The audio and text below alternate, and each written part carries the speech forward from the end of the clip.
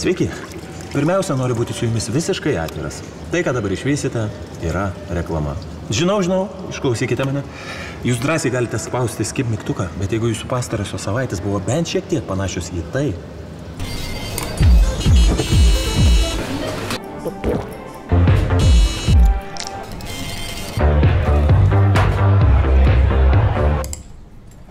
Tuomet aš jums turiu gana intriguojantį pasiūlymą. Ką žinote apie Birštoną? Graži maloni gamta supa Birštono kurortą. Iš visų Respublikos kampų čia atvyksta būriai darbo žmonių pailsėti, sustiprinti sveikatą. Darbininkas Balys Traudvilas jau pasveiko. Jam duodama paskutinė purvo vonė ir šiandien jis išrašomas. Su naujomis jėgomis jis grįž prie kasdieninio darbo. Gerai, gerai, suprantama, bet Birštonas, apie kurį papasakosiu aš, gali jūs šiek tiek nustebinti ir priblokšti savo unikalumu. Pradėkim nuo pradžių. Įsivaizduokit, Vilnius, penktadienis, 16.59. Savaitgalis! Griebėte kuprinę, prikraunate ją būtiniausių daiktų, sėdate į automobilį, autobusą ar panašią transporto priemonę ir mažiau nei po valandos atsidurėte vienoje iš Birštono viešbučių registratūrų. Apie atvykimą iš kitų miestų aš net nekalbėsiu. Dar prieš pusvalandį stovėjau Laisvės alėjoje. Klausau, kur Birštono? Gerai, tai būsiu. Gerai, gerai. Prieš 40 minučių. Iš kur toks priekabumas? Tiesa, aš net neužsiminiau apie Nemuną. Jis kaune buvo prieš e, pusantros valandos. Kur mes baigiam? Birštone yra įsikūrę daugiau nei penki spa centrai, teikiantys skirtingus gydimo, terapijos, rehabilitacijos ir atsipalaidavimo metodus. Man ir pačiam teko išbandyti dalį jų, todėl galiu drąsiai pasakyti, aš jūs myliu. Netikit? Gerai. Kad įtikinčiau, jog nepudrinu ir taip perkrautų jūsų smegenų, suteikiu unikalią galimybę prisiliesti prie asmeninio archyvo. Diskretiškumas pageidautinas.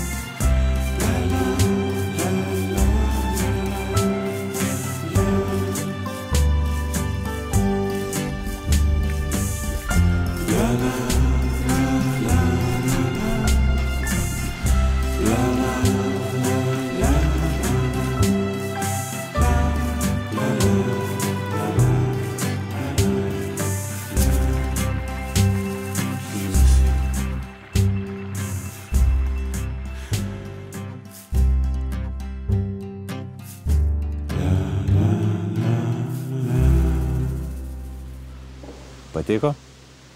Ačiū Dovydui iš puikius kadrus. Nežinau kaip jūs, bet aš jau spėjau ir išalkti. Ką manot? Pasidarom per traukėlę? Prašau. Mm, atrodo puikiai. Ačiū. Kalbant apie birštoną, būtina paminėti ir maistą. Mytyba yra svarbi sveikos gyvensenos dalis.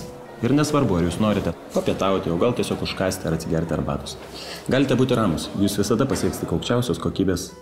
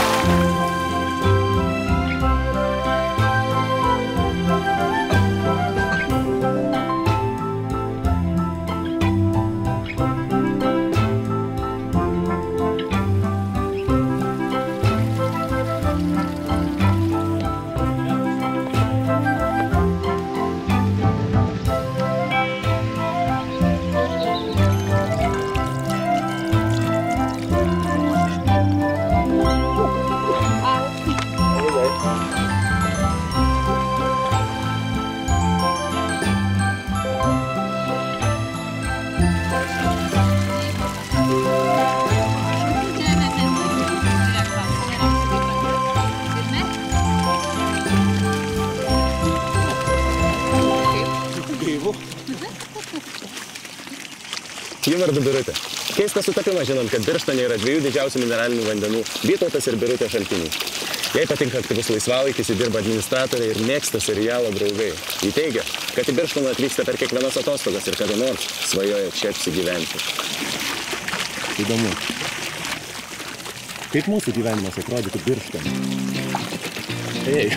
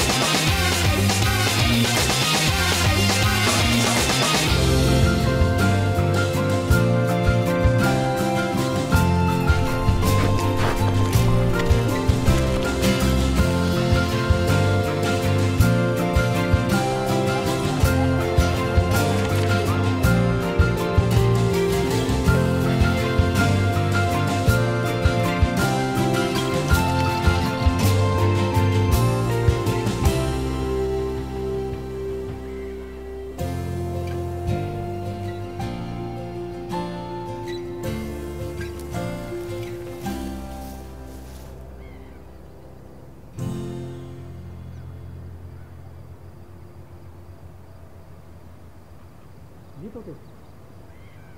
Vytautai. Ką? Tu dar čia? Taip, bet jau ruošiuosi judėti. Savaitgalis gal judam į kokį barą?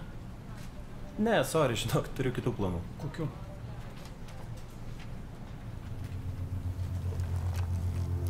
Klausyk. Ką žinai apie Birštoną?